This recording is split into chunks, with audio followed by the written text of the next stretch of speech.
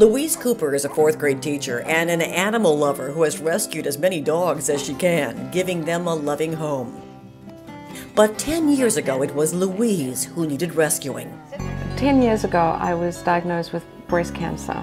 I found the lump myself while I was in the shower.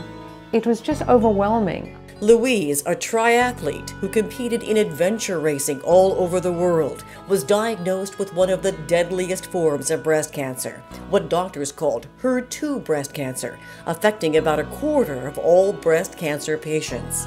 I, I eat healthy, I exercise maybe a little excessively. I do everything right. How did I get in the wrong line? What did I do wrong? I thought, okay, you know, I'm going to treat this like it's one of my races. And I know what I need to do. Like I need to train for a race.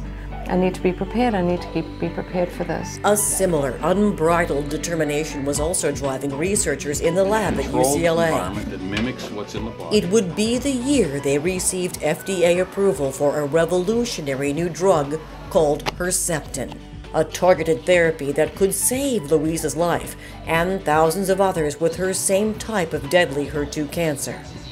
Women with this subtype of cancer had among the worst prognoses, and they had short disease-free survival, shortened overall survival, and the standard therapies did not do well for them. In fact, um, they recurred more quickly and unfortunately succumbed to their disease more quickly. That was all the pre-Herceptin era. In the post-Herceptin era, that's completely reversed. Now they do better than other breast cancer patients because we have a targeted therapy.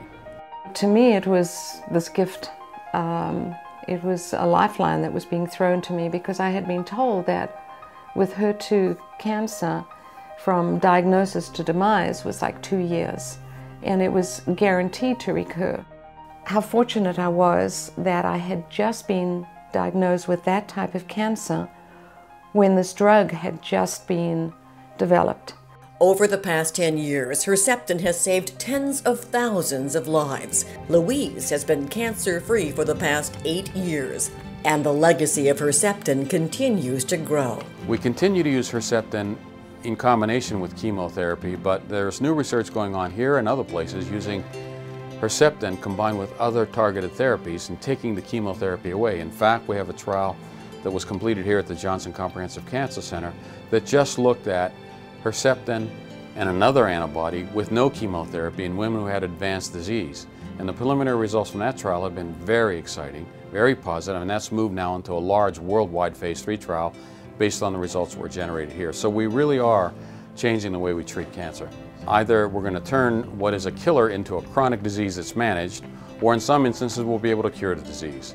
And that's where we're shooting, and that's what we're uh, trying to achieve.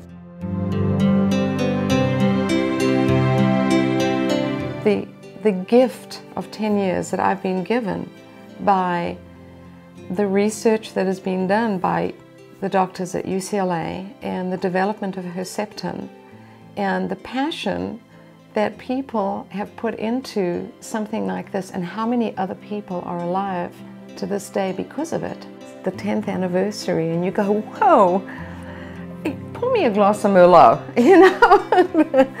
it's, um, it's my way of saying, um, in your face cancer.